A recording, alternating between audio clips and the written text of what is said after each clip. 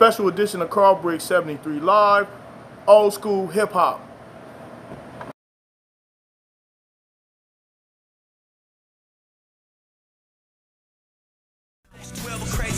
told me lead the way. I shed a tear cause it was real. Swore to never stray. Now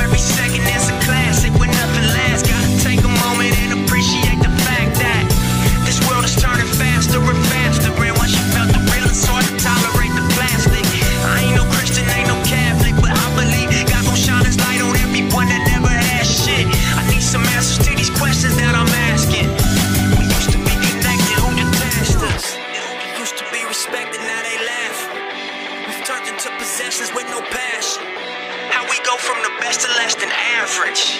We used to be connected, who detached us? Oh, oh, oh, with no collective identity. Yo, yo, yo. It's every man for himself. Me, me, me. We need a uh, black mafia. Wait, wait, look. Ruthless crib on some stupid shit. To valeting at Ruth's Chris is some ruthless shit. I think too much.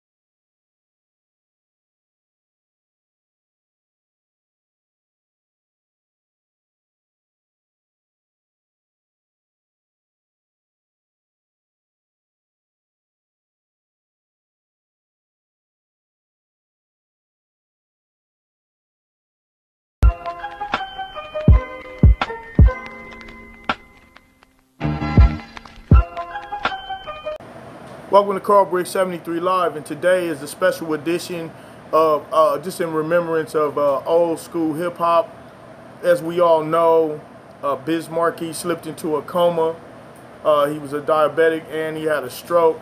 Big ups, big uh, Biz, Biz Markie, uh, old school hip hop. But also, I want to send a shout out to uh, Busta Rhymes. I seen the interview with you and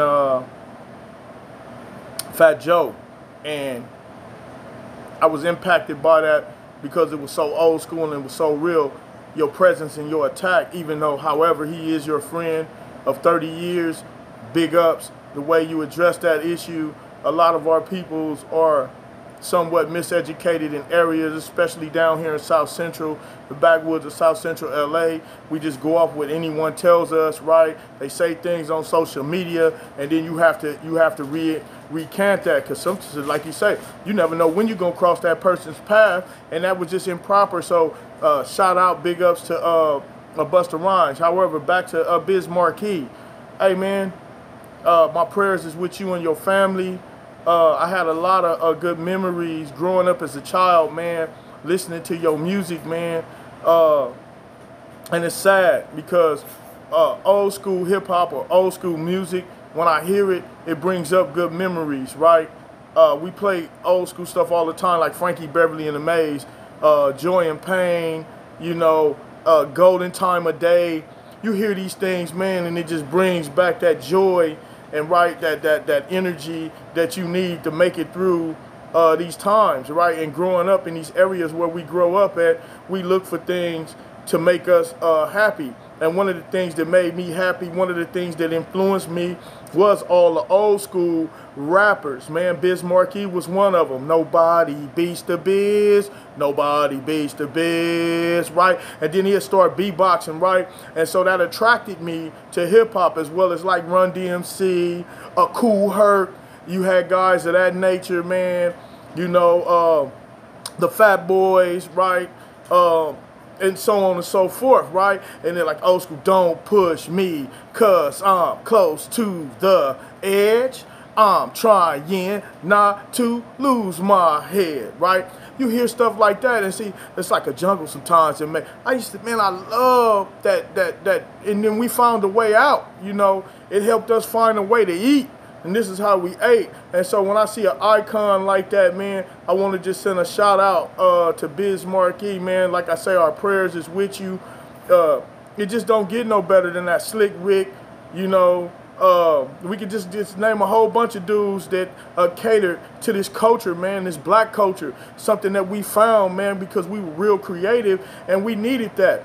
And now you got these clowns nowadays uh, making a mockery of the hip hop, not paying homage to the old school, right? And then they turning turning hip hop into a gang culture, right? You fools, you got out the ghetto with your money, right? And then you went you, you, you got the money just to go kill another black man. They doing it now. They making hip hop just terrible, man. It's, it's terrible.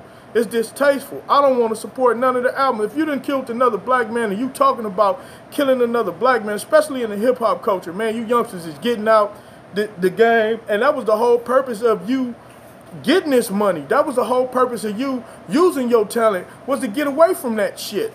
Right? And then you got a lot of these dudes now just making a mockery and it's, it's, it's a lack of appreciation, man.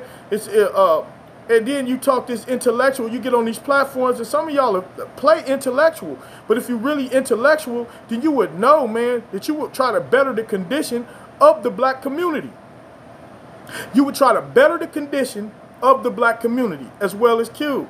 You know, he's getting all this backlash from hip hop. Cuba, old school artists, right? As far as this West Coast shit go.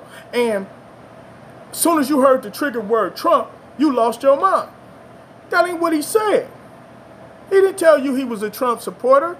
What he said was, we went to both parties, right, with the issue of black America riding on his back, and he needed your support. And that's why I gave a shout out to Busta Rhymes because Busta Rhymes brought so much clarity, right? And it's via YouTube. You can go on YouTube and watch the interview, uh, the, the exchange between him and Fat Joe. Man, it's like paramount, right? And I've always respected Busta Rhymes' get and his intellect, but it just showed where he was in growth. And one of the things he said was old school, right? If you cut from that old school cloth, then you there's certain things you just don't do, man, right? Like being a man, right? I went and talked to my manager today, and I told her that it makes me feel like a man when I'm able to go and pay the way for my wife, right? I'm able to go pay the way for a woman right? As a man, right? Growing up, watching your mother struggle, right? And you're sitting here letting these women's, right, pay the way. No, we supposed to be paying the way because it makes you feel good as a man instead of say, baby, what you want? I got this credit card. But that's that old school stuff. And this is what this segment is, is, is addressed on. Old school, we need to get back to that, right? Those old school values. Getting out, opening the door for your woman, being a father to your children, right? Right? Not going out there. My nature is not, yeah, I grew up in the gang culture. True enough, I have, right? Been a part of it, right? Genocide, all that. But at the same time, I didn't wake up to go hurt a man, right? That's not my objective. My objective is, right? My objective, and not coming from a subjective standpoint, my objective is to empower social equity. And that's what Cube was talking about, right? It's time for us to just cut it out, man. Cut it out and appreciate and look back, man. And if you feeling bad, man, you, you look at something that make made you feel good. It was times when I laid up in prison, man. Year in, year out, right? I'm talking about decades. Right? Just walked a decade off. And the thing that kept my sanity was my memories. And I have memories from this new school stuff because it ain't nothing to remember the way y'all behaving, especially in that hip hop culture. What I remember was all the old school values. You know what I mean? When my older homies, my G homies would pull up and be like, hey boy, what you doing out here, street lights on? Right? No, stand, stand a child's place, man. This ain't a place for no young men, right? A lot of my older homies told me don't get involved with this street stuff right? That's that old school value, man. And that's what I'm talking about, about that music, man, them dudes came with, right? Hip hop was designed, it was designed to find a way where we wasn't hurting one another violently, but through our talents, man, right? You go battle with dude, you drop a 16 or an 8, he drop a 16 or an 8, and that's the way y'all settled y'all beef. Coming from the New York culture where them brothers was down there, right? Break dancing and doing all of that stuff. It gave you another way, another option not to hurt, hurt your own kind or hurt yourself. Because when you hurt your own kind, you are hurting yourself right? When you go to prison, you are hurting your own kind and you are hurting yourself, man. And like I said, this has been another segment of Carl Briggs uh, 73 Live. Big ups to Gordon, man, for the footage. You always do a great job, man, in production with me right as far as my footage. Uh, shout out to Vicky and the kids, man. We love y'all. Uh, listen, man. If if I could, I designed my show because I am very passionate about change, my change, right? My change in my existence. And sometimes my shows aren't always politically correct in the views of an opposite opinion, and I'm for that, right? I am for that. But at the same time, I have my opinions and my views, and this is my view today, man. Let's pay homage to that old school stuff. Let's get back to that, man. And some of you youngsters, man, start taking care of them damn kids, man, out there, and start taking care of your women, man. Because why would you want your woman? To be less than. You want her to better herself, right? Better herself as well and can carry you into that as a man, right? So your children can reproject that. And with that said, y'all, this has been another segment of Carl Briggs 73 Live, Old School Edition.